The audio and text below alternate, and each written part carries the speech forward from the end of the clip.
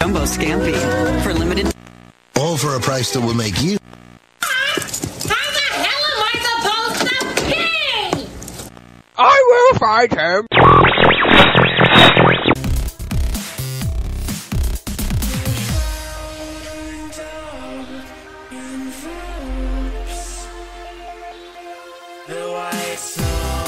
You're listening to BAMF, UK Comic Book Radio. Hello everyone, welcome to BAMF Comic Book Radio, the weekly comics podcast where you can find news, reviews and odd points of views. I am one of your many hosts this week, uh, Bertie Kempson, and joining me are the fabulous foursome of Lucas, say hello Lucas. Howdy. Fee, say hello Fee. Hello. Nevs, say hello Nevs. Watcha.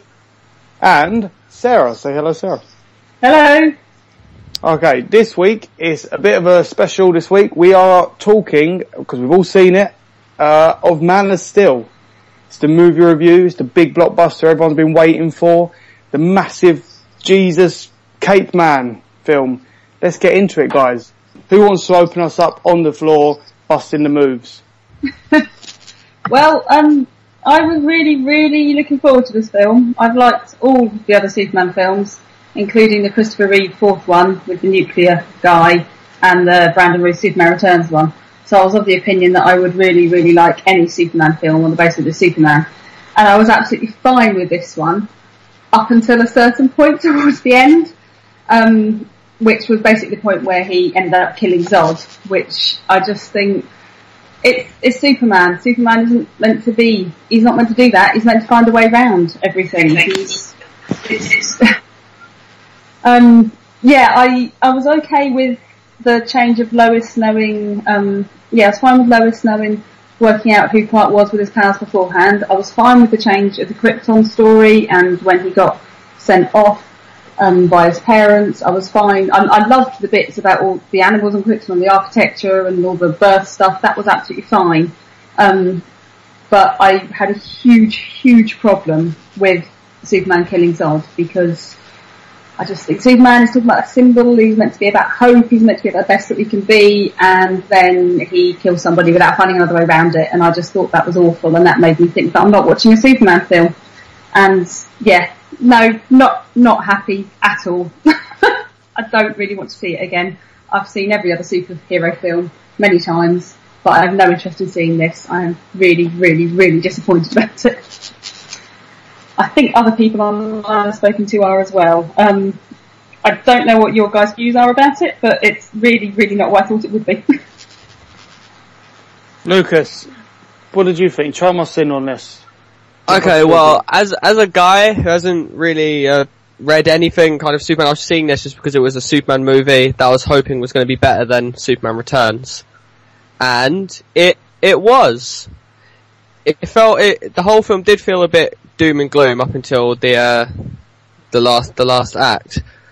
I I liked Henry Cavill's Superman. He was um he was good. I didn't think that he looked the part, but other than that, it was all fine. Lois Lane as well, the uh, the actress who played her, if anybody knows, Amy Adams. Amy Adams. I didn't think that she was a great Lois Lane. There was just something about kind of throughout the film. But uh, my highlight of the film is of Zod. He has my favourite line in the film, which I'll save for uh, the end of the podcast. But he was absolutely fantastic. But he died at the end of the film, and Superman killed him, and it wasn't cool. It's I'm uh, I'm pretty sure Superman's killed before, as uh, we were speaking earlier. But still, just the way he did it, I'm sure as a as a hero he could have found another way. And also, there was a whole load of like buildings getting destroyed during the end fight scene, which Superman just didn't seem to care that he'd just been punched for a building or punched Zod for a building, and like a million people just died. But other than that, it was a it was a good film, and uh, I'd wait for the sequel to see what they do. It's similar to Batman Begins, where it was uh, I'm going to make that comparison as well. Similar to Batman Begins, it kind of it wasn't like an, an amazingly amazing film, but the sequel is probably going to be really good. So go on, Nevs. Let's hear what you think. So, um, I went through this thing a while ago where I was going to lots of gigs and thinking maybe I was just like, maybe I was too old for music, right? And I was watching bands and I was like, maybe I don't care anymore. And then I went to see Fishbone last year. I was like, oh no, I haven't been, I haven't grown out of music. I've just been watching really bad bands. And, um, I've been, you know, sitting through your Avengers Assembles and your Iron Mans and your Spider-Mans and your X-Men's First Class and just going, wow, these are really boring films. And maybe, uh, because I was really hesitant when I went to watch Superman, I was like, sorry, Man of Steel, it's like, wow, this, this is probably be kind of dull. And I thought the Superman Returns movie was basically the first Superman movie, but on really powerful, dull Prozac. And none of the people who played in the parts of Superman's Returns had any of the pizzazz or the energy of the guys of the Christopher Reeve movie. So I was kind of dreading this, and I totally loved every single second out of Man of Steel because so many reasons. It explains to you exactly what it would be like to have superpowers. There's the bits where they're actually like filming Superman flying across is shot at such a speed that you get the idea of what it feels like to have that much wind in your hair. Everyone's motivations are so well defined. Zod's not just a I'm being evil for the sake of being evil. He's actually a political person who's got an angle and everything. It makes sense. The, one of the things that's bugged me about the Kryptonian Superman mythos is why would you ignore Jor-El's philosophy? Why, when Jor-El says to the Kryptonian Council, hey look, I've worked it out. The whole planet's going to be destroyed. Why would you? This isn't like David Icke or Alex Jones saying, "Oh, there are space lizards taking over the world." This is like a Stephen Hawking level of scientist, and they just all, all through every single interpretation, they've gone like, "Well, Jor-El is stupid," and actually, no, he's not stupid in this. The whole thing is tied into a beautiful analogy for the sake of using oil as a re- as a resource for the planet and it works beautifully. The fight scenes are incredible and actually convey the energy and the power of what's going on. And yeah, alright, yes. I, I, seem to have become by default the resident uh, Superman expert of the show. So, yes, actually Superman has killed before. He killed like the Phantom Zone criminals, went completely crazy about it and installed himself to space and dressed up as Brian Blessed for a year or something. But um, the thing to bear in mind, right, with Clark killing Zod is it's the first major adventure he ever has as Superman. Do you know what I mean? He doesn't have all the training and all the higher ground. I mean, at one point, he's trying not to punch some dude's face off because the guy's dropped beer over him. I think everyone was, I mean, it was fantastic. For me, the revelation of the movie, besides the dog and the bear, I was so glad they got a polar bear joke in there for no reason except for everyone just go, oh yeah, one of those producers was really stupid. Um, Kevin Costner keeps that movie together. And this is the guy from like The Postman and Waterworld. You know, this guy's acting his chops off. He's the best person I've ever seen play Clark Kent through Superman Returns and Superman and Lois and Clark. You know, so for me, absolute blinder. Blew every Marvel movie this century out of the window. Cannot wait to go and see it again. Fantastic from start to finish. Um, if if the whole idea is that like Man of Steel is a bad movie because Superman wouldn't act that way, well, the thing you have to bear in mind is it's an interpretation of the Superman mythos. It's not like a sacrosanct text that must be followed from plot point to plot point. Sometimes Supes gets it wrong. That's always been a theme, you know, that too much power. It can just go completely wrong. And a lot of the time is spent of him just not doing anything. So yeah, in summary, Man of Steel, absolutely best superhero movie this century, without a doubt. Whoa. I guess you're up. Um, I'm gonna, I'm next. I'm blown away, Nez, actually. I think all of us are that you actually liked it. Yep, I'm like shocked. Uh, I can barely, uh, Speechless over here. Yeah, i am gonna struggle speaking now. Um, right, I'm just gonna put that out of my mind. Uh, I'm gonna say I loved it as well. I loved every second of it, every single two and a half hours worth of it. The only downside was that it was a bit long, but I loved it. The acting was so brilliant. The film was so well cast. Um, Diane Lane as Ma Kent. Um, I forgot his name. You said it loads of times just now. Kevin Costner as Pa Kent and Jor-El, who was basically going gladiator style. He was just doing Maximus as Jor-El, which was bloody brilliant. The died whole the cast. way.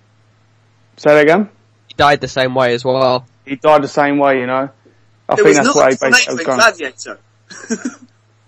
It was it was Maximus. It was Maximus. Um, no, it was brilliant, and they finally got it right. I loved it. It was pure action. I was saying to Dan ages ago that films should take from the Avengers and have more action in them than just a quick wrap up. And with this, not only did they take that, but it was kind of like they took um, the criticisms from Superman Returns seven years ago, where everyone slated it because there was one good Superman moment of him, of him catching a plane and no action, and just went, "Here's your action, and here's more, and here's more, and here's more." And each time the stakes got bigger, uh, you know, more danger, more impressiveness, and it was just so good. The blade destruction of it all, the mass of it, it really took that whole action comics feel and was like, there it is, there's action comics on the screen, this is action movie, this is how it's done. Henry Cavill was perfect. I can't wait for number two where we, where we hopefully see him balance Clark and Superman in that sort of Christopher Reeve's way of like disguise himself, slouch himself and the double acting. Um, yeah, he's just, he was so subtle, but like he stood out in every scene. Um, I've kind of got a man crush on him and his, uh, lovely face and teeth and hair. Um, really powerful, really good, great ending. I love the ending. I'm so glad they did it because if someone's going batshit crazy like that, you're gonna just do it. You're just gonna snap his neck. I always said Batman should known to Joker ages ago. People should do it more often. And just done. Um, loved it. But yeah, more blown away now. Nev's liking it than I am the actual movie. Um, Fee, do you want to chime in? Uh, yeah, I'm. I've, I've got more sort of complex feelings about about it. I didn't love it, but I certainly didn't hate it. Um, I, I don't think it was a perfect movie by any stretch of the imagination. Uh, but neither do I think it sort of deserves a lot of the criticism that's being levied at it either. Um, so I thought it was visually stunning. Um, I, I thought the effects were absolutely fantastic and I thought it was really well directed and everything about it was kind of quite beautiful to watch, including pretty much the whole cast. Um, I think along with the rest of the world, I'm in love with Henry Cavill now, who isn't. I agree with you. Yeah, and I think even the boys do, don't you, boys? Yeah. Yeah, yeah. The bit where he had the beard. Actually, the girl I went to see it with, who's a massive gay comics fan, right, pointed out that all the shots of him when he was running about with beard are nicked from a comic called Tom of Finland, which I now am going to look up. Oh. Okay. So, but yeah, um, nice. He's um, easy on the eyes, shall we say? But um, every, everyone was ev- like everyone was was nice to look at. Um, you know, even Russell Crowe was looking pretty hot. I thought. Um, but uh, yeah, and uh, that, uh, there's so much I want to say about this. Is trying to get it all straight in my head. Um, that one of my main problems with it was that there wasn't enough uh, Superman learning to be Superman. We sort of see a little bit of it. We see him when he's on the fishing boat, and then he goes um, to rescue the guys on the oil rig. Um, and you know, and that was great to see. But uh, there just wasn't enough of him learning to to use his powers properly. We just sort of see him going from that part there in the beginning of the film, uh, going straight into being Superman, and then he learns how to fly, and then like, oh look, I've learned how to fly. Now I'm just going to go straight into the biggest fight of my life, um, without really much training or anything. Uh, and it just sort of felt a little bit that that first sort of uh, section of the film felt a little bit rushed to me. It was like it was a bit of a rush to get him into the cape and get things moving. I would have liked to have seen a little bit more um, of him learning, you know, to be Superman. Um, I thought what they did with the narrative was really interesting. Um, at the begin towards the beginning, the first third of the film, where you get flashbacks uh, with him going, um, where you see uh, interactions with uh, Ma and Pa Kent, um, and him growing up as a kid and stuff, and then uh, flash forward, uh, you know, or coming into the present. I thought that was really, really well done. Um, Nev said about Kevin Costner being um, a really great Pa Kent, and I've really got to agree. I thought he was absolutely fantastic. Uh, and yeah, I have to mention the scene, the cyclone scene, uh, or the Oh, yeah. tornado scene.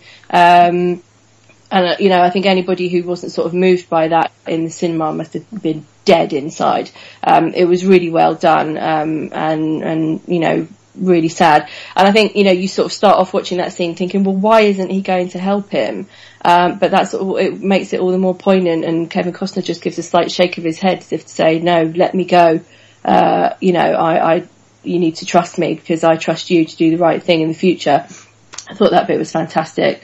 Um, I've been reading a lot of people saying, complaining about it being too sci-fi, you know, like it's more of a sort of like a sci-fi film than a Superman film. Um, I don't agree. I think, you know, Superman at the end of the day is an alien and, um, it, you know, I think sort of seeing an exploration of that uh, part of, of his life and where he comes from and the impact that has on his time on Earth is really important and it's not something that we've seen done before and in film.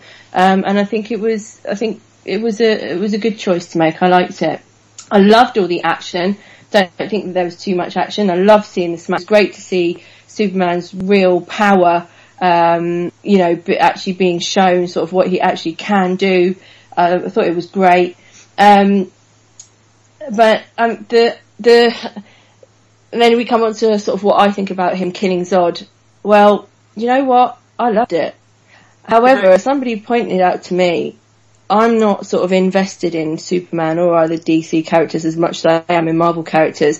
And say, had this been Spidey doing that, I'd have gone nuts. Uh, and it's, and I would have, uh, and I would have hated it. But maybe because I'm not as invested in the characters as much, I don't know. Um, but I was glad that he did it. I liked to see it. I enjoyed seeing it. I thought it was really good.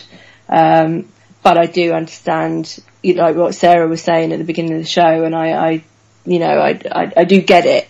Um, but it goes back to what I was saying at the beginning though about having complex feelings about the towards the film. I just don't think it was for, you know, it just, nobody sort of straightforward, nobody, everybody sort of like, like one end or the other. You know, like I've seen so many people saying they really hated it and so many people saying they really loved it. Um, but I mean, for me, I'm sort of somewhere in the middle. But um, if my, would my feelings be different if I was a massive DC fan? Probably. But you know, at the end of the day, did I enjoy it? Yes. Was I riveted in my seat? Yes. Would I go and watch it again? Yes, I would. Um, you know, and there will be a sequel, and I'm pretty glad about that. Um, and I can't wait to see it. See what you were saying about people not being that invested in it. Mm. Um, I went with uh, I went with my boyfriend and a few friends. Um, and all my friends who don't read comics regularly or they like the idea of Superman, they all really, really enjoyed it. It's only us who, me and one of my friends and also my boyfriend who knows a bit about the comics and likes the characters, they hated it. Um, but for different reasons than me, I think. Yeah, it's, it's, it's interesting. I do, I think, I do think that p- different people's relationships with the character has definitely influenced what they think about the movie.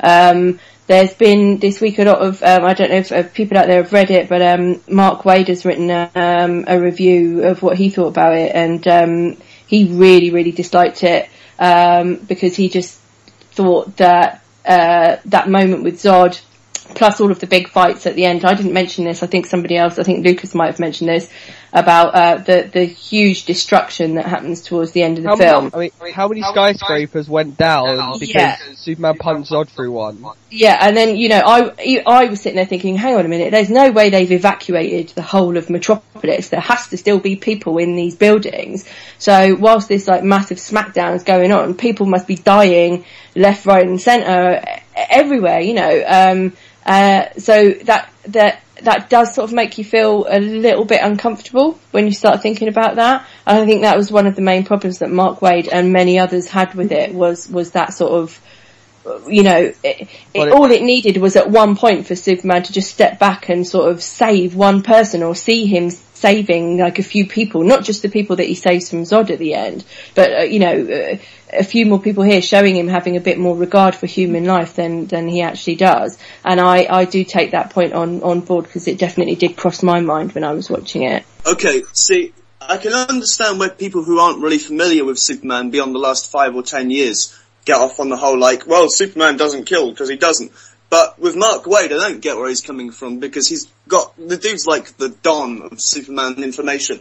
And anyone who knows their onions about the Superman mythos will know that Superman regularly scared the crap out of people, like, all through the 30s and the 40s, and it's been pretty well established via DC that he probably killed some Nazis during World War II and stuff. Clark has been known to kill should the situation be absolutely unavoidable, right? In the situation in the movie, Zod is literally going to burn people to death with his heat vision. There's no way around that. There's nothing. There is a way around it.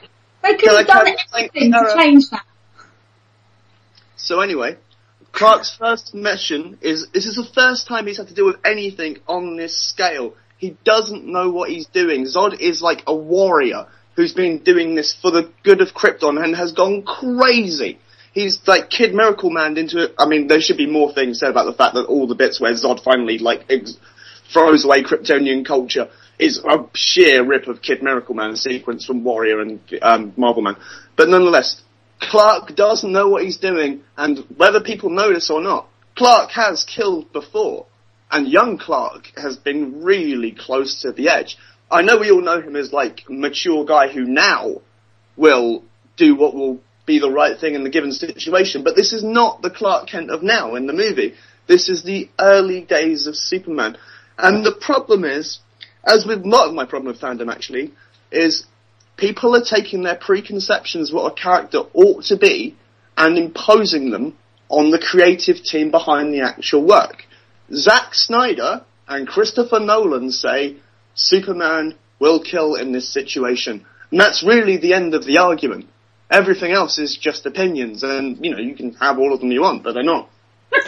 Yeah, no, I mean, I, I I- don't agree, sorry. But I, I do agree with what you're saying in, in, in that situation with regards to Zod, but going back to what I was saying before about the willful destruction of all of the buildings and all the, like, surely must be thousands and thousands of innocent people getting killed in, in, in all of these skyscrapers, because as I said, there's no way Metropolis have been evacuated, was there, by, Well, by Completely okay, because Batman evacuated everybody Hang on. beforehand. I'm going to quickly chime in with this. Alright, cover this I, kind of book Indestructible, right? Where the problem is, if Clark stops beating on Zod for a second, that's going to cost hundreds, if not thousands, of lives. Yeah, Those but- f- Why seconds couldn't he you stops- take it elsewhere? Yeah, that's the, that's uh, Sarah. That's the thing. I think that's what I've just seen people Yeah. say repeatedly. The- It's like you would have thought he would fight- like, draw the fight away from the city. The fight did go up into space for about a minute before they kind of went straight back down Well, should have stayed and brought a back satellite with them into the I'm middle of the city. I'm going to quickly It's chime in. Zod is leading that fight. Clark is reacting. Zod is putting Clark in as much of a dangerous position as possible. That's 'cause he what I was knows about to say. Um, Clark is reacting and Zod is putting Clark in the shit. Either he stops the building falling over, or he stops Zod killing hundreds of people in the next few seconds. It's one or the other, and young Clark, who's never done this before, makes that snap decision. It's not a mistake, it's writing. Right, I'm going to quickly chime in, right? An alien spaceship, we're all in the centre of London, alien spaceship decides to hover over London. What's the first thing all five of us do? Run! We're going to run away from the ship. I know you saw people still in Metropolis, but I took it that they were literally blocks and Legging blocks it? and blocks away. They were halfway legging it, but obviously when you're legging it and a Superman comes up to you, it doesn't look like you got very far away. So I took it that those built that main destruction it was all flat, that was the first to get cleared out. That's how I took it. And also, ad- admittedly, yeah, there would have been people who would have made it out, but there are a lot of people in those buildings. I mean, it all looked great, and like Nevs was saying, Superman didn't really have much of a choice. If he'd flown away and said, Zod, come get me, Zod probably would have just destroyed another skyscraper. But, And here's another thing, real quick. I just read Birthright, and in Birthright, something happens kind of similar to this. And when finally confronting the big source of it all, Superman is there, and he even says, um, like, why he's angry. People have just died. He, he tells you how many have just died because of the main event. I don't want to spoil it because I know some of you are probably going to be reading it this week. And Superman doesn't break down and go, oh my god, I've, I've let these people die. He's like, you've let these people die, now I'm going to kill you. Or not kill you, now I'm going to stop you. That is, it's unfortunate collateral damage, but as Nev said, you've got to get to the source of it, otherwise more will happen. And again, Superman was following, uh, Zod. There was a lot of chasing. Zod was leading that fight. No matter how far away Superman would have gotten Zod, Zod would have gone back to Metropolis, gone back to the source to keep going. And as for the main kill, there was no second way around it. If I'm holding Lucas's neck and he's like, I'm gonna fuck everyone up and your last plan to get rid of me just happened, but I wasn't part of it, I'm gonna kill you all, I'm gonna burn you all, there's no way you can put me, I'm just gonna have to put you down. Well- like he's a farm boy. He's a farm boy. When an animal goes a bit mental or a bit sick, you've got to put it down. I think Shoot horse in the face. Well, um, one of my other issues with it, which only only came up after the point where Superman then killed Zod, was that we hadn't seen a lot of his morality and how the Kents had brought him up to have him the strong morality that he's meant to have, um, which wouldn't have been a problem if he found another way to deal with Zod. But I just think it's it's it's about it's about the writing. The writers can do whatever they want. They could have they could have found another way around it, and it makes it as, it makes it quite a cynical story, and it makes it with the issues about Pa Kent and his fear of what Clark could do and what he couldn't do and what his place in the world was and whether he should let people know his powers. All of that combined with the fact that he got a lot of the teaching from um, from his Kryptonian parents. I just it's not I didn't come out of it with a good feeling at all. I came out of it going, this I feel a bit I feel a bit deflated. I don't feel happy about this and I just it is a philosophical point on my half. I know it is um, because I am a massive Superman fan and means a lot to me, so I'm well aware that I probably take it more personally than maybe other people. But it's, I don't think a Superman film should be cynical. I'm happy with a Batman film being cynical, but Superman's a very different character. And he means different things, and he is, as they said, the symbol, if it means, for, if it stands for hope, I didn't get much hope from that. The bit at the end of it, where he went on and he went back to that he worked for the pit, and that's that nice add on, but it didn't really add to the main bit of the story, and that's where I think it failed. Um, I don't hold with the idea that it should stick to canon to the comics at all. Um, they can change that. I understand why they modernised everything um, with the relationship between Lois and Clark and all of that. I get that. That's fine. I have no problem with that whatsoever. Him only learning his powers as an adult, again, that's absolutely fine. Him finding Lois in the Fortress of Solitude in the Arctic, Antarctic, whichever pole it's on. Again, that's absolutely fine. Um, they want to do that, no problem with that. But I just have a massive issue with it being made to be a cynical film. And I don't agree with what Nev was saying, that people who know the Superman history, you know, it's he's killed before. I know he's killed before, but that's not the point. um, I don't So think what's he should have killed, I don't think in the first film, I don't, I don't think it should have been like that. I'd understand it if it was maybe the second film or the third film, we'd see more of his character development, but we didn't see, we saw hardly any of his actual character development. We saw more about Lois and Perry, who were great. They were really good. In fact, all the supporting cast was mostly, I think, really good. But I just don't think it should have happened in the first film. And even if Superman has killed before, that comes on the back of 70 years of comics history, and we don't have that in the film. And most people, I think, go to the film, they don't know the comics. I mean, most people are still be saying, oh, you know, he's lost his, he's lost his red knickers. They're all devastated by that. They think it's ridiculous. But, you know, that's neither here nor there. You accept it or you don't. And actually, I think the costume looked really good. I really liked all the Kryptonians' clothes. It was great. it was a brilliant sci-fi film. But I Um, just don't, not good as a, I didn't like where it took us and the feeling and the message behind it.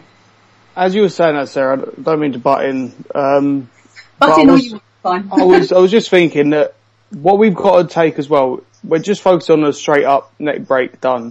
But you've also got to think that who why he did it. It was to stop Zod, but it was to stop Zod for these people. It was um I will kill for you. You are like I, I looked at it like that as well. That he would kill for for the human human race, Yeah, Um, that's, to that's protect how, him. That's how I saw it. which was a bit more inspiring. That Mm. like not like Punisher style, uh, and that was nothing. It wasn't like Punisher style. I was straight up. I was straight up have no remorse. He he broke down afterwards. That's you know he fell to his knees and he just Yeah. let out this like um, I humongous think cry. could see more of that, but I think they'll probably go into that in the sequel, and I'm assuming there'll Yeah. be a sequel. But for this film, as it stands, I don't think it was enough. But yes, he did break down And-. We did see yeah. Sorry, which is good. So there wasn't any like right, that's it. I've killed him now, and anyone else that crosses the line, I'm going to kill you too. It was literally like I didn't want to do that, and he begged him. He said, "Please don't do this," and there was Yeah. no stopping him, and that was fine. That's understandable. And also, I kind of see it as like a building, like uh, I know it was towards the end of the film, but it was still like they were still building him because they could carry it on and mention it in the second film that this is something he didn't want to do, and he's mm. learned from that, and he's not going to do it again because of how he felt. And maybe in the second film they could touch upon how other people, like the humans, reacted to seeing that, and maybe a bit of fear for them. And he's like, "I want, I'm not going to do it again. I'm just here to help." And that was how I had to help you at that moment. Yeah. Yeah, what that's- was that's nice how I saw it. about it was um when one one of the good things was when he was fighting during the film. Then the army went, "No, mate, you're on our side. You're not on the side of the Kryptonians." And the general dude, I don't know I like his that. name was. I know it wasn't Sam Lane or it wasn't Lucy, and they really should have been name checked in it. But um, they said to his other soldier guys, like, "No, don't shoot on him. He's our side." That that was really good. That was I like. Superman should inspire trust, and he This did man that. is not our earned it. enemy. Great, exactly. That was that was great. Um, but don't you think that the film should stand alone on its own merits, regardless of whether there's a sequel or not? Because that's a, I think that's a different issue. Yes I was and no. say, actually, um, that was the thing that I really loved about it was unlike all of the Marvel movies, it felt like a film. It felt like a complete arc, Okay. a, a story of a a boy becoming a Kryptonian and then essentially a man. And that's how, for me, movies work. They're complete stories Yeah. in of themselves. Um, obviously, you don't need to know. I mean, yeah, knowing that Superman has actually killed before, it's not a great outrage. It's just a bit abhorrent in 2013.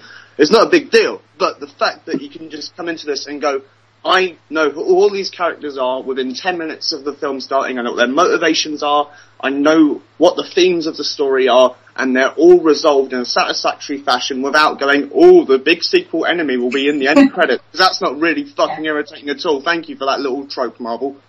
Um, it was just like I don't have to sit through the end credits and wait for Thanos' big face to show up because the whole story is resolved at the end of that movie. And if anything happens in Man of Steel 2 or whatever it's going to be called, that's fine, and it will just build on what's happened before without being necessary to watch the first one, much like the Batman movies did, which are also really good for being standalone stories, because that's how I think movies are meant to work, and movies are one thing and TV shows are a different thing, for a reason. See, you mentioned the Batman movies, and I was just going to say that I do think that it should stand on its own merit, but the one thing that makes me know and trust that there's going to be more of it in the sequels will be the fact that Christopher Nolan is on. You saw with the Batman movies, each film was like a standalone thing, but they were one big massive story of Bruce Yeah. Wayne.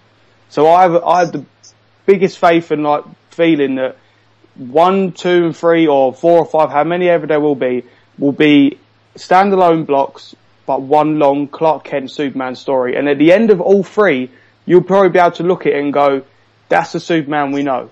Well, that's the one.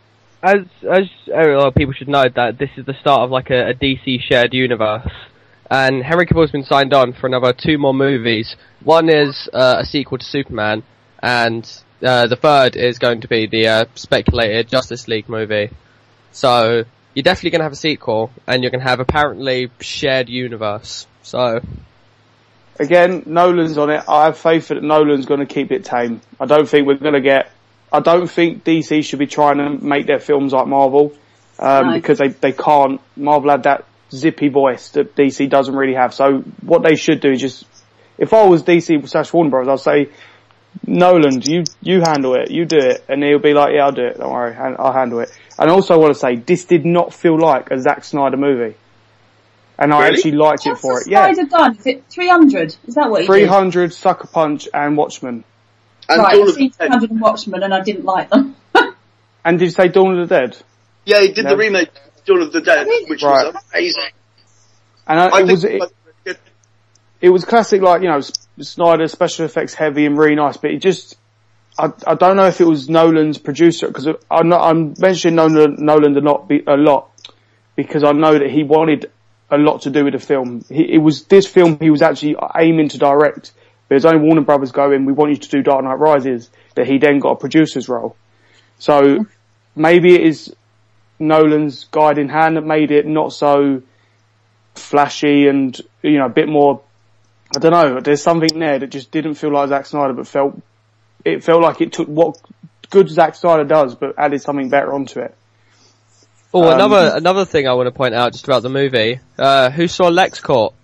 I did Yay! on the on the truck. I saw Yeah. the truck. Is there was more? Yeah, Was there was more a, there was that? some more there was some more bits. Uh, I only saw the truck one, but uh, people I was there was with a. Uh, LexCorp tower and there was a couple of LexCorp trucks and there were a couple of Wayne Enterprises as well. I think the satellite that came there? down at the end was apparently said Wayne Enterprises, which was like, oh, that's, that's really See, exciting. I I didn't see any of that. I only saw the one truck, and that was it. but Um, yeah, I'm so um, guessing Lex will be in number two.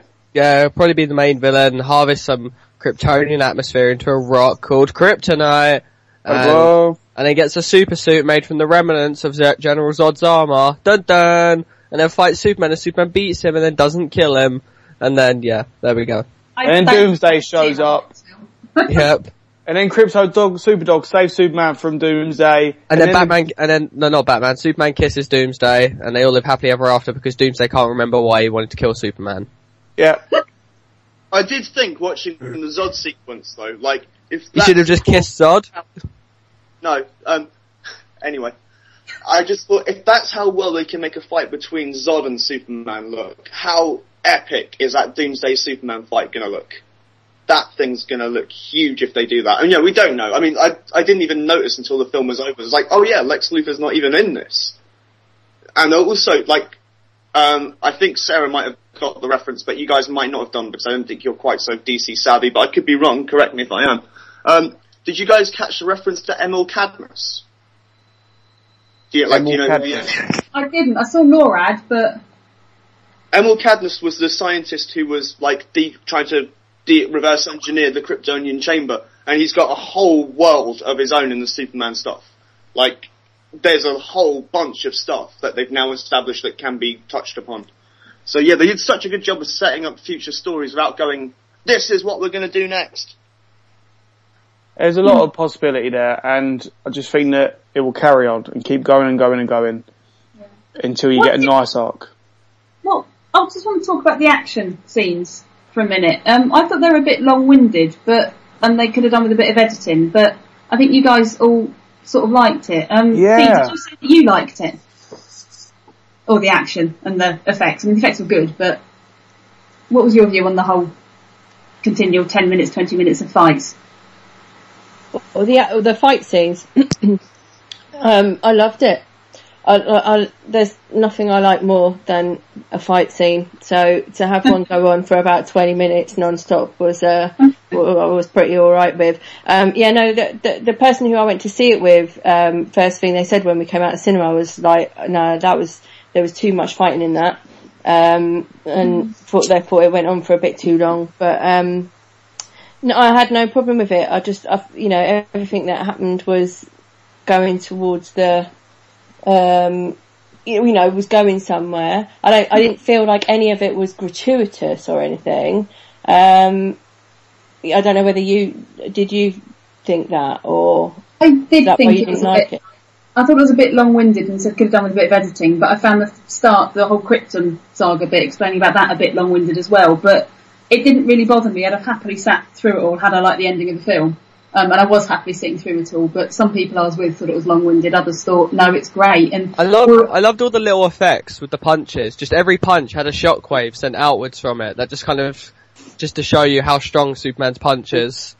Yeah, that that's what I thought was done really well. I think I mentioned said that earlier on. I, I I really did think that all of the action sequences in the whole that last third part of the film did a really really good job of showing just how powerful Superman is or is meant to be. Um, and you know, whilst other films have sort of like tried to do that, I think I don't. I think this this is certainly was certainly more successful in doing that than other films that I've seen. I thought it was it was done really really well.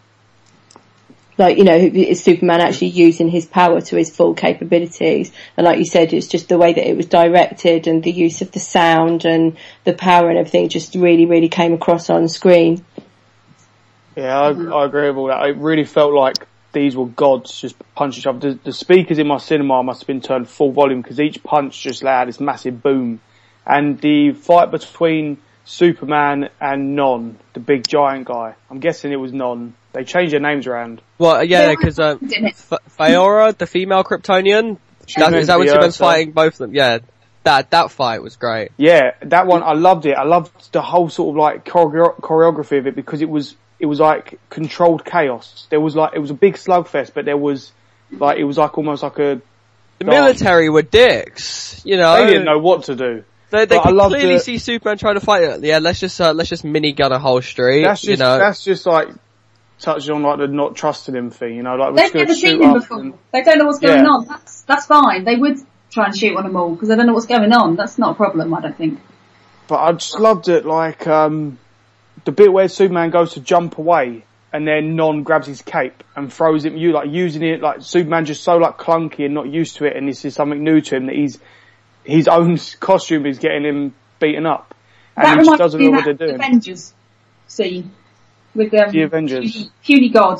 That was that was Oh, amazing. yeah. Where Hulk bashes I thought you Loki guys the floor. That is actually a good point.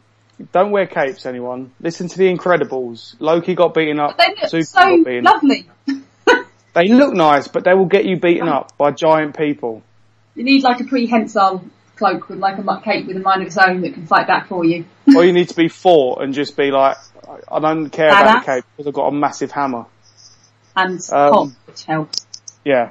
Um, yeah, just to, but the action scenes, as I said earlier, I felt that each time there was a big sequence, the, the, um, stakes got higher. So the, from the first one with the oil tanker, you know, the stake there was just the helicopter will get hit, he needs to get him clear. then it kept going up that if he doesn't stop this one with Non and, I'm gonna call her Ursa because I know her as Ursa, but she's something else in this.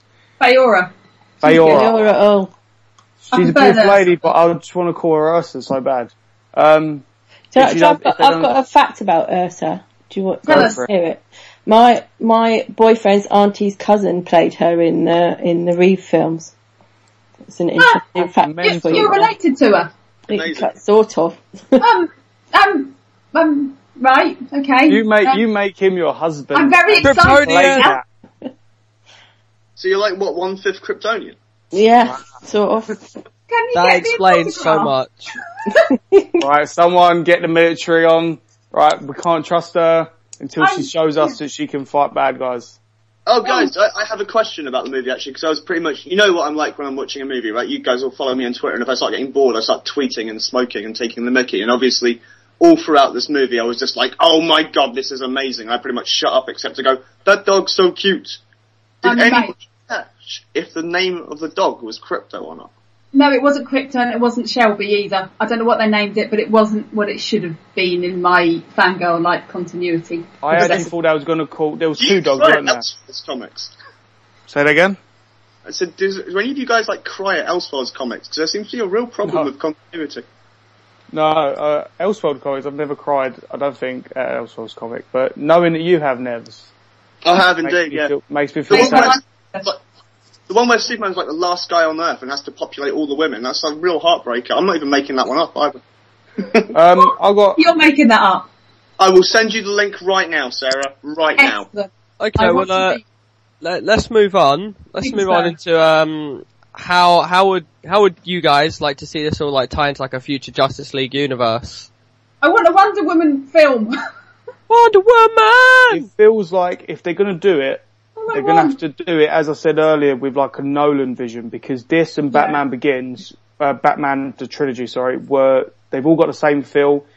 So if this is going to be the first link into Justice League and it's got the feel of the Dark Knight trilogy, then you might as well just carry that all on Yeah. and have a Nolan Wonder Woman and a Nolan Yeah. Flash. And Okay, there's a slight problem with that though. In that They're all going to be dark. No, Christian Bale has pretty much said that he doesn't want to play Batman again. So what's going to happen? Are you going to recast it? Are they going to I reboot it again? Well, here's the Huh? thing. They did say that if when they do Batman, it will be Bruce Wayne, and it will be a younger Bruce Wayne. I think is what they said. If they do go ahead with it, um, and whatever Bruce Wayne you apparently whatever Batman you get in the Justice League, if reactions are good to it, that's when you'll get it in that Batman you'll get in the single films. So um, I'm guessing there won't be any uh, uh, Christian Bale, but it will be a, a non-Christian Bale Batman in the tone of Nolan. I'm Okay. guessing. I don't know. That's what I So think. long as it's be. not another origin movie, that's fine, because I am getting a bit tired of origin movies. But it could work, it'll be good. If I want do whole it, universe of DC. I'm jealous of all you Marvel guys with your films and you can see it all alive and I haven't had any. See this, the whole movie verse with DC is going to start being tied closer to the New 52. DC came out ages ago and saying that their other media stuff will all be in some way mirroring the New 52. We saw it with Yeah, Superman and his costume, and we'll see it in Batman and I don't know what because Batman's unchanged, but we'll see the New 52 reflecting that. So when it does come to the Justice League, I'm guessing the first film will be Cyborg as the eyes of the audience, Darkseid as the big bad, and go from there. That's all So- I can see. So will it be Barry as the Flash then? I'm assuming, as he's really the only Flash because I don't think they count Jay. Yeah, I think, I think so. That's a shame because I like Wally, but You as well. There is Yeah. no Wally. There is no Wally anymore. I am gutted we've lost Wally. Utterly, Unless utterly he's, gutted. unless he's the new Reverse Flash. I don't know. He's not going to be a bad guy. He's going to be a good guy. You don't know this. Think about I- it. The, the original Verse Flash was kind of a good guy being bad, when he? he was like trying to be the bad guy, the best bad guy, so the Flash would be the best Flash. if you keep going like this, I'm going to cry. I want Wally to be a good guy. No I- I gingers must are good. admit, like, I, I try not to be the throwing the toys out the pram guy when it comes to mucking about with major characters because you know obviously it's not my characters and my opinion doesn't count. But throwing away all the awesome stuff that Mark Waid did with Wally West on his run on the Flash just so like we could have Barry West, Barry Allen back for no real reason was one of the saddest things that came out of like the new editorial regime of DC. It was like there's no reason to bring Barry back, and if you go back and read the original Barry comics, he's not a very interesting character. You know what I mean? It's It's not. just like He's dull. it's really boring. But ginger people can't be superheroes, and that's coming from someone that is ginger. I um Misfit. She's ginger, isn't she, or is she brown? Jimmy they all get killed off in the end. They all get killed off or Uh, have a, an annoying buzzing watch. What about, um, I know he's not DC, but, um, hello, Matt Murdock. Oh yeah. Fair point. And by the Guy Yeah. think that just shot your theory down in flames, Bertie. Yeah, hang on a minute, hang on. Was there not a period where Daredevil turned bad? And Guy Oh, Gardner's gonna join the Red Wait, Lanterns? Boosh, boosh, boosh, in your Well, Guy. Gardner's a stroppy git. Bye. That's why we like him. In your faces. Lex Luthor was ginger. Oh, in your faces. Lex Luthor was never a superhero. Boom. That's what I'm saying. They can't be superheroes. He could have been the best superhero ever, but they, he's mental. He's mental in the face. Look at the Ginger. ginger ant man. He pervs on women in the showers. What? Listen, right. I am, I have all authority to say this. Authorized by who? Me, Mr. Me, Ginger I authorised him, okay? Should- Possibly move on Dude, to you can't next- authorise nothing against gingers. You've got like the darkest, blackest hair in the world. Either way, other than uh, this talk about gingers and hair, okay, right? So, Let, let's move on. about- Yeah, let's uh, move on. We've Let's move on to real bad. something not necessarily super related and this week's comics. So, what have we been reading? Sarah, would you like to take it away? Yeah. Um, I only got two this week. I expected about six, but I got my weeks mixed up. So I got Thor: God of Thunder, which is, well, if you guys have been reading it, it's got absolutely gorgeous art. Yeah. It's a good story because you've got three Thors, and the Space Shark made another appearance, which Glowing I like. green space shark. Yeah, yeah, there was nobody hitting anybody else in the face with it, which was a shame, but Space Shark, so that was good.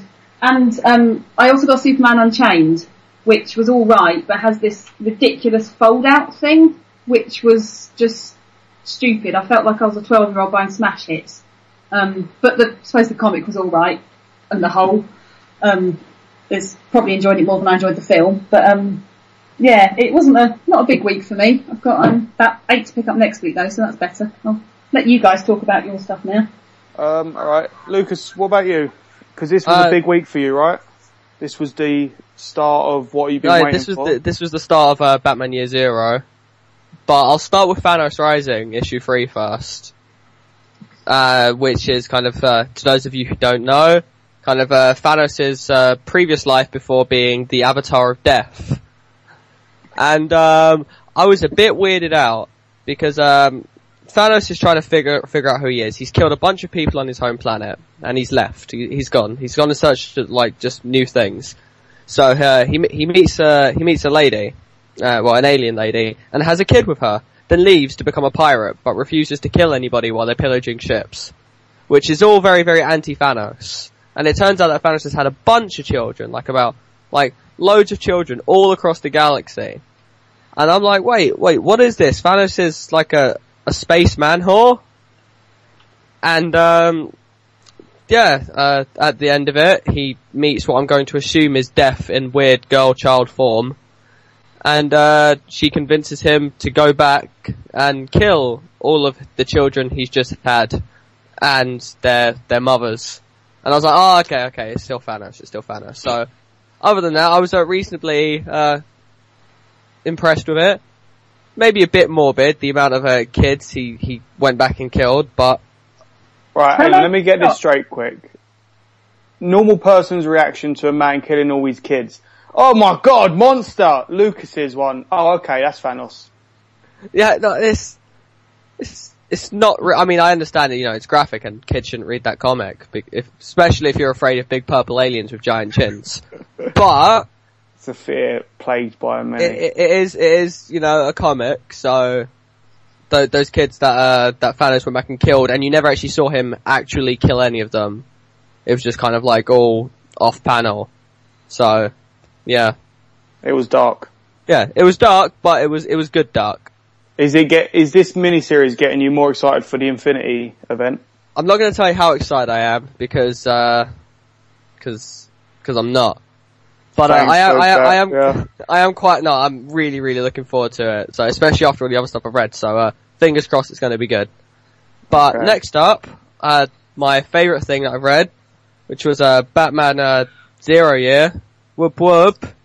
Whoop whoop. Wasn't that of is.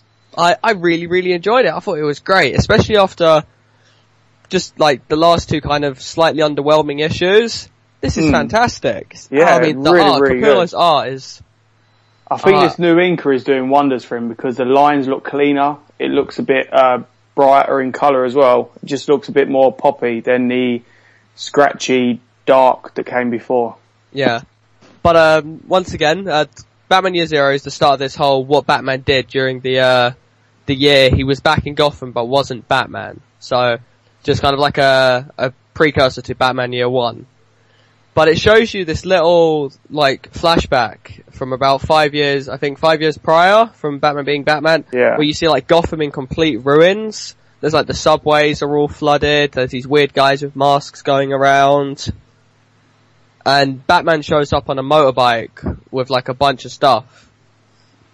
So, no idea what's going on there, but it's definitely got me hooked. Yeah, I love that whole thing. It kind of, it was weird because it was reminding me of The Wake. Do you know how it opens up into this yeah, no, really kind of like, you're not sure what's going on. post-apocalyptic, flooded, barren Yeah, place? it's just kind of like pieces all being moved into place. Yeah, the best Yeah. way to describe um, Gotham, how it looks five years in the past, is We Are Legend slash The Last of Us. Overgrown city, Yeah. shattered, broken, crumbling away, and Batman on a dirt bike. Yeah, but other than that, I thought it was really good. Can't wait for next month's issue. Looking Yeah. forward to next issue of uh, Thanos Infinity, and I'm gonna I'm gonna read Guardians of the Galaxy uh, sometime, so I can uh, start talking about raccoons and trees. You But, uh, but yeah. anyway, son. You, you know, I like raccoons cool. and trees, everyone. But Yeah. somebody else's comics time. Who wants to go? Nevs, Fee, or Bert? Fee, you go. Bum. Fee. Um, so my favourite thing that I've read this week was um, Savage Wolverine by um, Zeb Wells. Um, uh, Zeb Wells is one of my favourite uh, writers. Actually, I don't see um, you don't. He's not doing too much around the Marvel universe at the moment, so I was kind of quite pleased to see him. Um, I started with Savage Wolverine when Frank Cho was doing his arc and dropped it after the first issue because I just wasn't feeling it. Um, and then speaking to other people who carried on reading it, I'm glad I did drop it because apparently it didn't get any better. Um, but um, this is um, gonna Zeb, Zeb Wells is doing like a short arc. I'm not sure if it's two issues or or three. Uh, before Jock comes uh, um, on board and does the does an arc where he's that he's actually drawing and writing, um, which I'm going to be interested to see that. So I'll pick that up as well. Um, lots of people getting very, very confused about this issue of Savage Wolverine, which is number six, by the way, uh, because um, it's very confusing about where it stands in the con- in terms of continuity.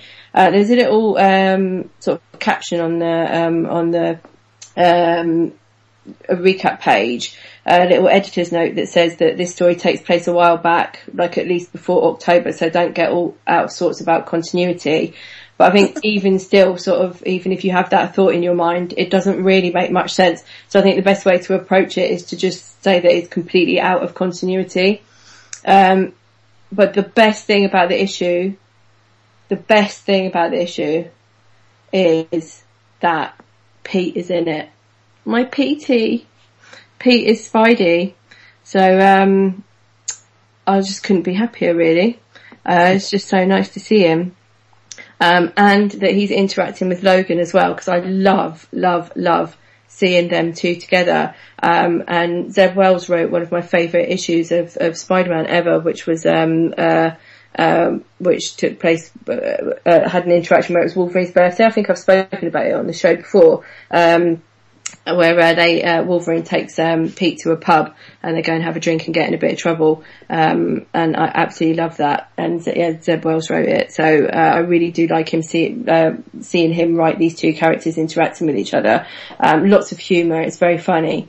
Um, and Elektra is in this issue as well. Um, and then the other thing why everyone's getting really confused is because um, if anybody's been reading Daredevil, um, the uh, oh spoilers, but um, um, we sort of find out um, that Bullseye isn't maybe quite as dead as we thought recently in Daredevil, um, and um, this issue sort of focuses on on um, Bullseye as well, and so it doesn't actually fit with what's going on in in with with Daredevil at the moment. Uh, but I really loved it, and I can't wait for the next one. It was a really really good story. I know Nevs, you read this as well, didn't you? I did. Um, I, I mean, you know me and my approach to continuity. I couldn't give a monkey's about it as long as the comic's fun. Um, so I was kind of, I was a bit like, oh, is that Pete being Spider-Man playing with swords? Uh, yeah, alright, cool, then on we go. Um, I thought Joe Mad's artwork was spectacular. I remember just seeing the disappointment when he was drawing the Ultimates. And I was like, wow, maybe he's just lost it, but no, give him a script that he cares about that isn't about weird incest and stuff, and he obviously knocks it out of the park. Um, but I thought the best thing in the whole issue was Pete desperately cracking onto Elektra and Elektra just not even bothering to respond to him. Um, really funny. and that was pretty funny. Um, I'm assuming it's somewhere in continuity because it doesn't have the Kingpin as like, you know, the King of New York. Um, so that's all happened quite late into Bendis' Daredevil run. So it obviously fits somewhere. It was kind of weird seeing Hawkeye in his old costume, or his lame costume as I like to call it. But yeah, a really fun issue, and I was really dreading it just because it was the issue after a Frank Cho comic, which is kind of like Erik Larsen following Todd McFarlane, yeah? But no, really good fun, really enjoyed it. Best Is Wolverine this- comic on the stands for Mar- by miles. Is this um like Wolverine's team up book, the Savage Wolverine, or is it like what is the actual? Because I know you got Avenging Spider-Man, Superior Spider-Man. With this, you got Savage Wolverine, Wolverine, and it seems like he's teaming up with everyone. It strikes me that what it probably is is the Wolverine equivalent of Legends of the Dark Knight, where you just go, okay, there's probably some continuity somewhere, but you just kind of throw it out the window and you say, hello, awesome artist and artist, awesome writer, would you like to write a thing about a character? Then go Okay. wild. I mean, Old Man Logan, would, which is for my money the best Wolverine story ever, would have fit quite happily in this rather than its actual own title. But yeah, it's much more fun than the Paul Cornell thing, which isn't bad, but just a bit like, oh, it's all serious and very serious comics and it's all real and grim and blah. Should I talk about my comics now? Go for it. Yep. Okay, well, I read Superman, Superman Unchained, and um, two questions sprang to mind. One, why is this an issue one of a new comic being released the same week as the movie? Right? Why? Why not? Sorry. Promo. I want to get more Well, sales. Yeah, it was. It's just like considering how abysmally bad the other Superman comics have been since the New Fifty Two kicked off. Yeah. Why not bring this degree of creative talent to one of the Superman comics that is currently sucking the monkeys out? And that raised the second question. Given how good Jim Lee has been on occasion when he draws things like Flinch, or that short story he did with Neil Gaiman with the, for the comic book Legal Defense Fund comic, why does he keep resorting to this, like, really it's, I mean, it's bad Jim Lee, Jim Lee. I'm not the guy's biggest fan of the best of times unless he's trying, but this was really just poor Jim Lee artwork and that quadruple page spread thing didn't help anything. It's like, I, I don't want to like turn my comic into a map, you know what I mean? It's not cartology. It's just reading a funny book and trying to read this thing on the bus, but then you're holding it at funny angles and you're like, this now looks like I'm reading really bizarre spandex porn. I can't be bothered doing that for a fucking Superman comic. Um, and the really annoying thing is, as like um, Lucas said, it was released the same week same week as Batman Zero Year, and talk about your ends of the spectrum, man. Because this was just like blah blah blah blah blah blah. Oh, interesting twist. And then Batman Zero Year was fantastic. Um, just like such a good story. And I was so cynical about this because if there's one character whose origins we all know really well, it's frigging Batman, right?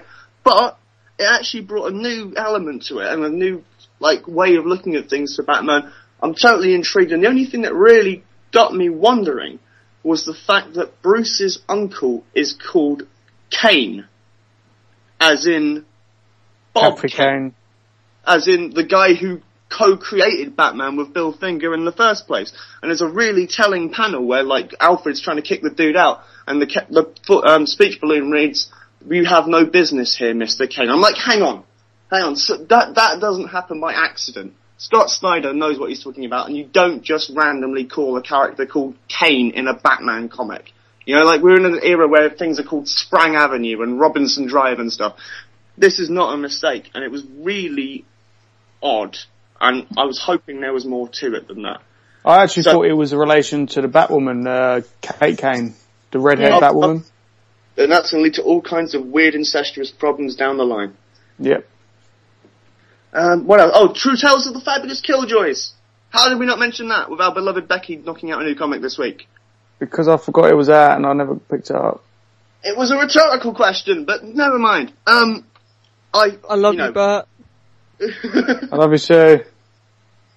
it was awesome. You know, it was as good as the preview and more so. I if if you're left with two things from what I've been ranting about on this show, one, go and watch Man of Steel. Two, go and buy True Tales of the Fabulous Killjoys. We love you, Becky. Um, I like Gerard Way, which is not a sentence I'd ever thought I'd say in my life, but the dude's such a good comics writer. It's just there. So I think that's my comics for the week. Okay, my my comics of the week are a bit like rehashing. Uh, Thor God of Thunder, really bloody good. I thought Yeah. this was actually the end issue.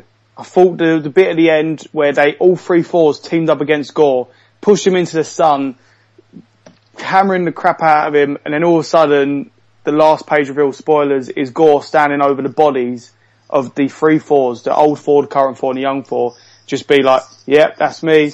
I'm the boss. And then it carries on Oh, an old. 89. I really liked it as well. I was kind of like, oh my god, this ride just won't stop. also brings epic, me really, really, really like proper epic. There's a bit where like current Thor punches him like light years away and just in a flash he's there. He's landed on a moon and then they break the moon a bit and it just Yeah. harder and harder. There's a description that I loved of current Thor just swinging the hammer and each time he swings, he swings harder and harder, but his muscles tear, his bones crack and his body aches, but he just keeps going. Really brutal. Jason Aaron's got such a good voice for Thor and Esad Ribic is just a monster on this art. The expressions, the power, really bloody brilliant. That Um, splash page, about four, was it four pages in? Uh, the big, Uh, which, which one? I need to go get mine up. double page spread where they're, um, they're all three Thors are jumping towards Gorr's black. They're jumping off the boat. Yeah. That Yes. was amazing. I got that. I was like, oh, was not expecting that. That was absolutely lovely. really, really brilliant. I love it. I'm looking at it right now with the attack Yeah. dogs coming up and the young Thor light is at front and centre and just going down. It's really bloody, bloody, look, Worth bloody brilliant. just for that. Yeah. It. And it makes me think Marvel seem to be doing a lot of time travel stories. This is messing around with time travel. Um, Age of Ultron's got big time travel stuff, and there was another one in my head, but it's gone. I could be wrong, but it just seems that there's a weird link between this and. Oh, the uh, X Men, that was it. All new X Men is a lot of time traveling, and I'm thinking maybe, maybe there could be something down the line. You know, just it just seems a bit of a coincidence that three big books are using time travel in a way. And then you've got Tony Stark in one of the main events talking about time travel as in an organism not to be used too much. Um, anyway, bloody brilliant. Go pick it up if you're not reading it. I'm trying, I'm trying to get Lucas and Fee onto this. I know they're not massive Thor fans. Um, but really, really worth to read. I read Batman year, uh, zero year. All I'm going to say on that is I'm sold because it's a Riddler story. Riddler is the boss. Um, love the Riddler. And Unchained was alright. It was, I've been reading a lot of Superman. As I said before the podcast, I said to these guys, I've been reading a lot of Superman this, this week.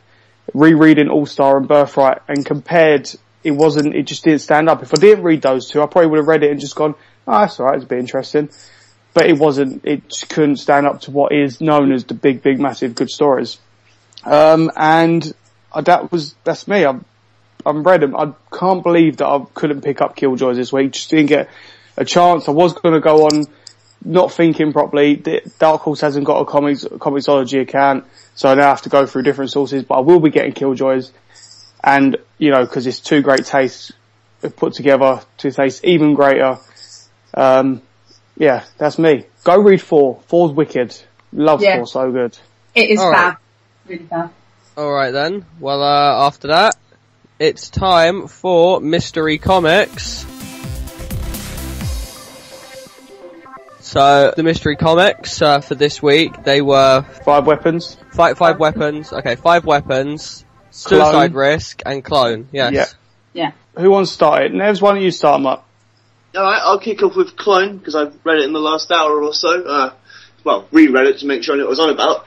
Um, it's uh, David Schwimmer's first comic, or David Schumer, I might have mispronounced that, with um, Juan Jose Ryp, or Rep.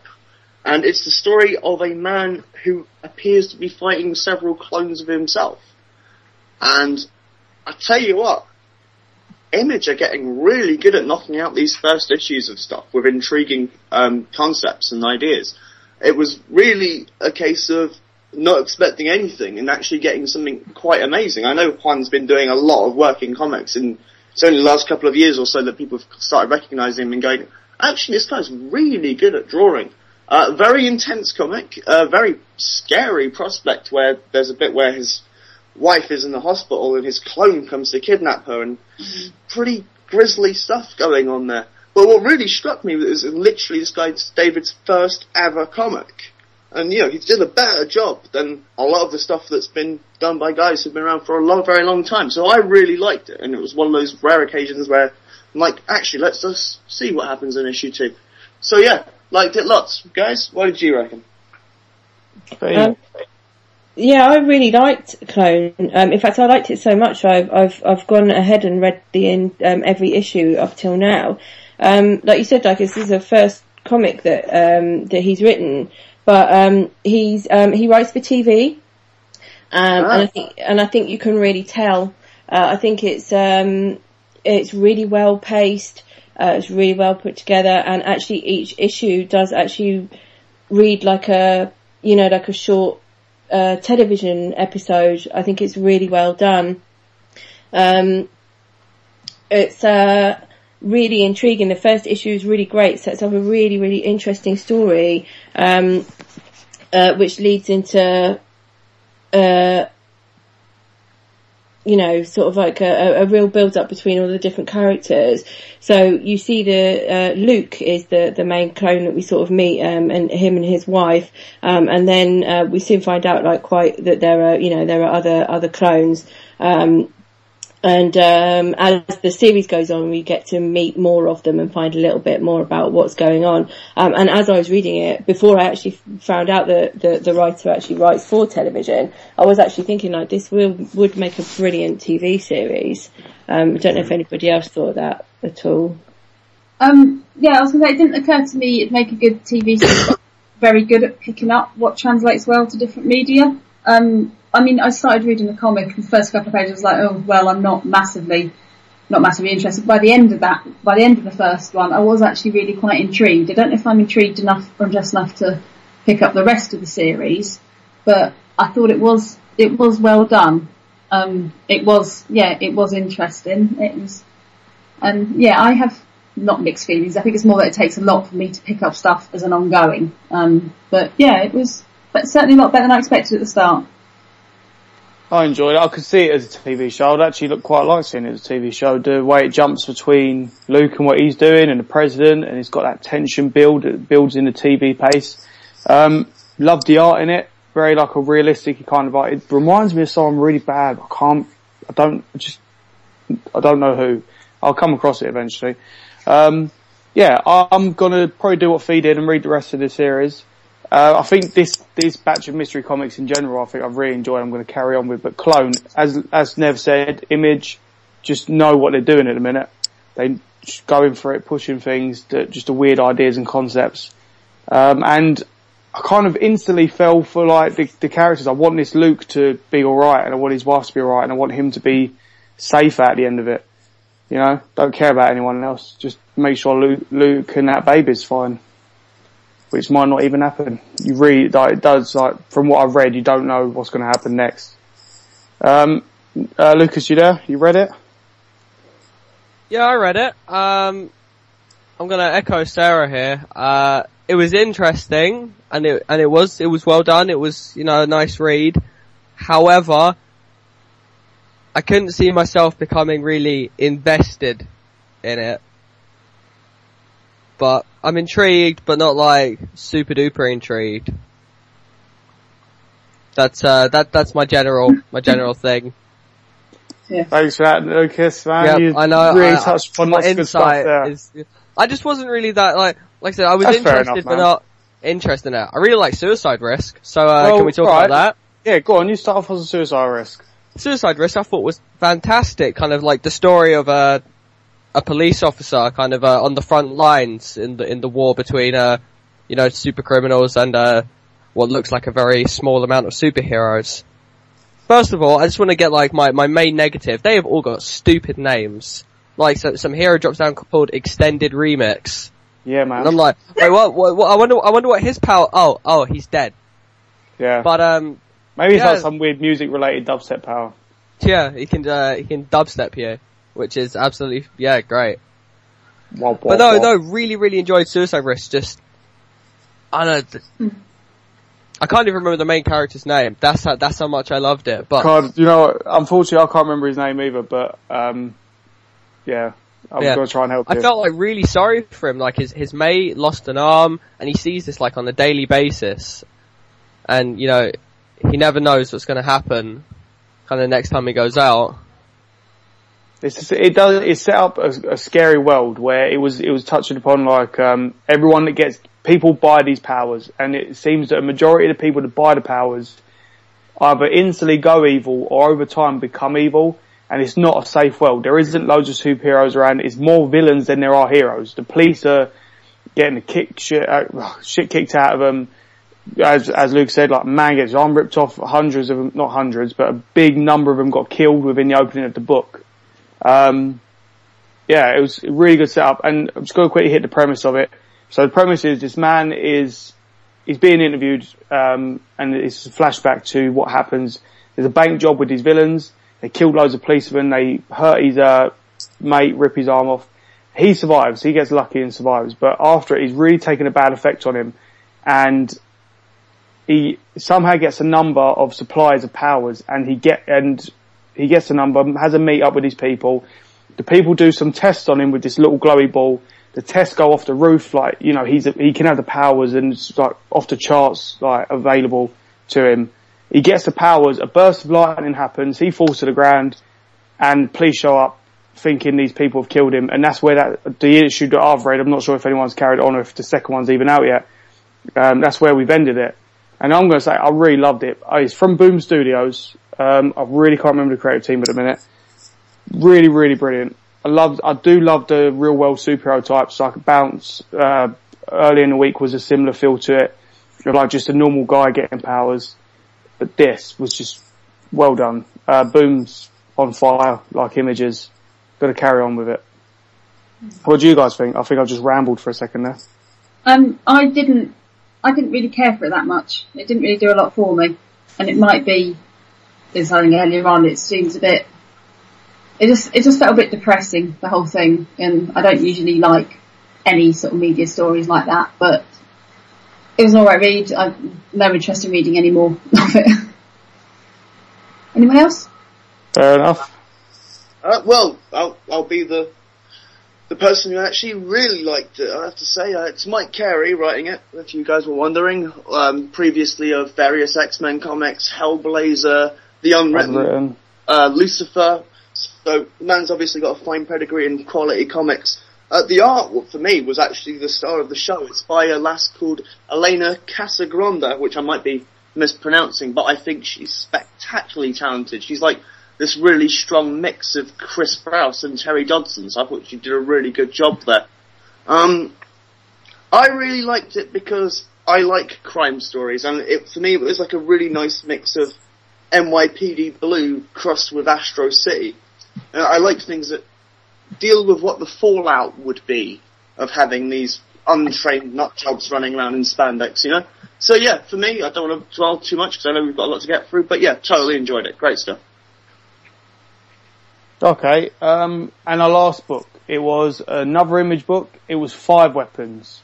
Um, I've only read the first three issues. Um, Fee, do you want to start us off on Five Weapons? Um, yeah, this this was um, this is wasn't a book for me. Um, I, I I can see uh, why you know other people would like this. This just wasn't for me. Um, so this is a um, a, a school for assassins where um, these kids go to this school and go and choose a um, a group to belong to and then train to be an assassin. Um, generally speaking, I don't like precocious kids. So, and this comic is full of precocious kids. So, uh, if that's not your thing, then like me, then sort of stay away. Um, having said that, it is really well written and it's well done and there's some really nice moments in there in terms of the art and stuff. Um, a couple of clever moments. Um, something I, I wanted to mention in particular, I'm just sort of trying to find the page at the moment, uh, where one of the characters goes to, to talk to, um, uh, what's the main character's name? Is it, is it, it what's his name?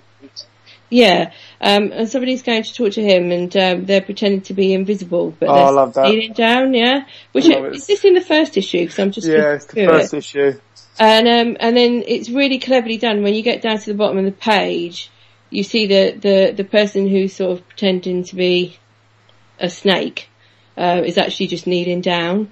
Um, and then when Holding you get to the bottom, up. yeah, and when you get to the bottom of the page, the panel shows that. It's really good. It's really clever.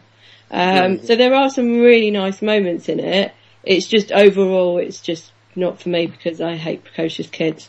But um, but you know, I know some Uh, differently about it.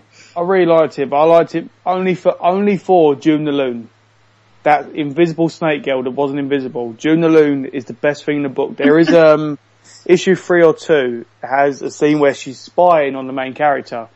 There's a crowd of kids and he's in the middle of them and she's spying in the background, but each panel she's in a different place. One minute she's just like in the crowd, next she's hanging from uh, the ceiling, and another one when he's walking away, she's just in the bin. You don't see her get into his places. She's just there. And she's just so mental. It's just, and her hair is ridiculous. She's got an eye patch on and her hair is just two green bits of tufts hanging out that side of her head. Um, just, just hilarious. Uh, and I only care for it. I think if June Loon wasn't in there, again, the, the, the characters do do your head in. There's a lot of like grumpy kids, angry kids. There's some dude called Rick the Stick. Should just been called Prick. Um, they do your edit, but June the Loon breaks it up really nice. When she comes in, it's so good. And uh, the nurse, there's a mystery with the, the nurse. She's a bit of a psychic, but no one really knows her real name or anything, um, which is kind of intriguing. All round, good. June the Loon it should have been called. What about everyone else? I really liked all of it actually. I thought it was um I thought it was really good. I read yeah, read the first three issues. I thought it was really playful. Um I think the large reason I liked it was because of the art. When you had the um you had the arrows showing people's eye gaze and then you had arrows showing where their heads were moving. Things like that I think just made it. And the same thing as you were saying, June the Loon, um I sort of enjoyed Rick the Stick and the other guys as well, as along with all their ridiculous silly names. But I just found it quite charming. Um, I don't mind precocious kids. I'm also reasonably happy reading school stories. Um, so yeah, I, I found it really good fun. and I would like to read more. Um, I'm not surprised that Fee didn't like it because I think we have different opinions on certain comics. but um, yeah, I thought I thought it was fun. I'd like to read it, read more next issues. Lucas or Nevs? Um, I I blame Kevin Smith for this kind of thing, really. Uh, I I can't. It there's nothing incompetent about it. You know, it's it's not like it's badly drawn or badly written. It's just really aggravating listening to well, reading these incredibly smart ass kids waffling on and explaining how clever they are and how dangerous. You, know, like, you just, it's like the argument that kids should have a mute button until they hit 18, you know? That, that's, that's what it reminded me of reading this thing. And I don't have a problem with school stories, you know, I love the St. Trinian's movies. Uh, it's not even the genre, it's just these kind of precocious, overly verbose little shits blanging on about nothing. Just like, it's one of those things where you, you kind of hope that the fight between Clark and General Zod would crash through this comic and just stop it dead, you know what I mean? So, no, not one for me. Not incompetent, just fucking aggravating. That's my review. I, I, I could not agree with that review more. Nevs. Well, um, I thought it was alright. Um, to be honest, Someone else like you know, says Lucas. I, I, I didn't think it was, you know, particularly amazing. You know, like you said, the, the kids were annoying. I liked, I liked the idea, but, um, but yeah, standout thing for me is probably June the Loon as well. Only because she was using a snake to communicate, which I thought was pretty funny. But other than that, uh, just a bit boring really, especially compared to the other two. That's, uh, that's, that's, that's my review. Thanks for that. even more insight there, Lucas. I You know, love you. My for it. enthusiasm keeps the show going.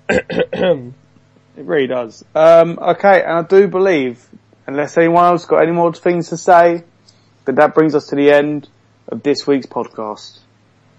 Am I in? Uh, am I right? Is everyone agreed? Yeah. Unfortunately, so it's that time again when we all say goodbye, and me and Bert sing the F- Superman theme tune after everybody said goodbye.